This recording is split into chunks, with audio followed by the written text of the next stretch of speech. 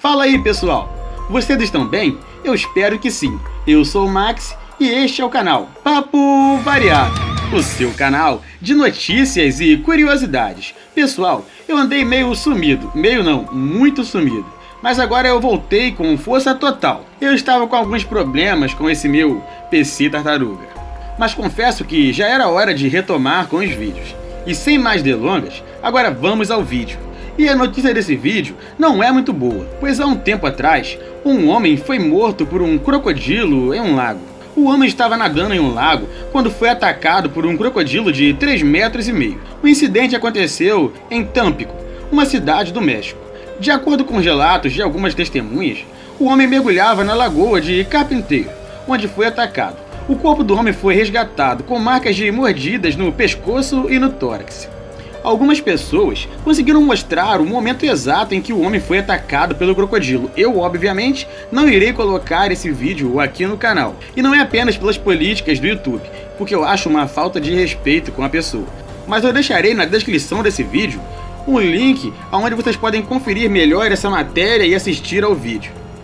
As testemunhas disseram que após o ataque do crocodilo, o corpo submergiu em seguida, as pessoas acionaram os bombeiros, mas quando chegaram já era tarde demais. O homem havia falecido. O comandante Juan Garcia Hernandes relatou que o ataque provavelmente foi feito por um só animal, mas, no entanto, a região é repleta de enormes crocodilos.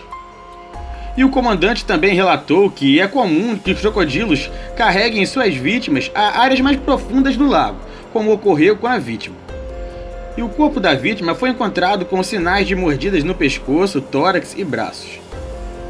E mesmo sabendo a causa da morte, o acidente está sendo alvo de investigação, pois o local onde o homem foi atacado é proibido para nadar e práticas de atividades aquáticas, justamente pelo risco de ataque de crocodilos.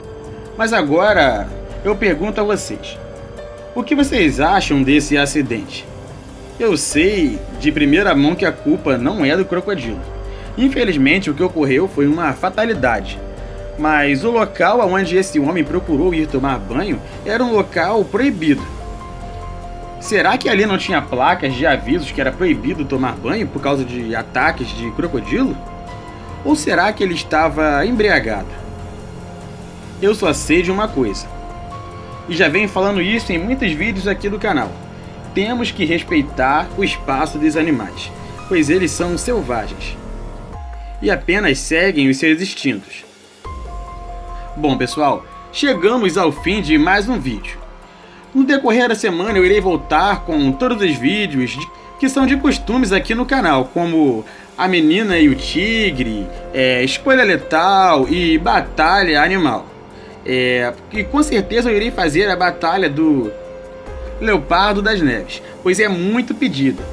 Diversos de vocês pedem nos comentários, pedem lá no Facebook, então eu não posso deixar vocês na mão. Não deixem de se inscrever no nosso canal, ativem o sininho das notificações e nos sigam na nossa página no Facebook. Um forte abraço e até o próximo vídeo.